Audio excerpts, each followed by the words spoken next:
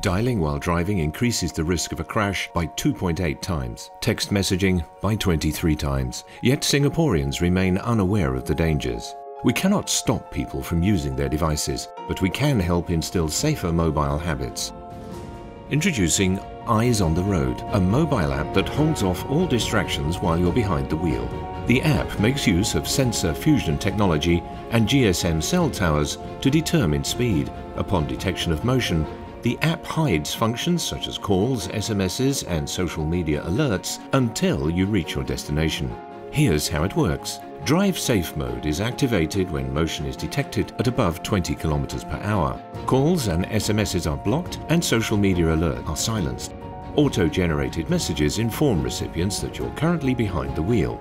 The app deactivates after 10 minutes of idleness or you can choose to do so manually.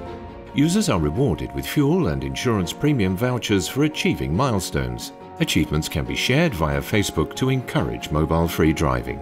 The campaign was supported by radio, outdoor media and social media. It was also featured by the press and generated much PR. Eyes on the road, making sure the road comes first.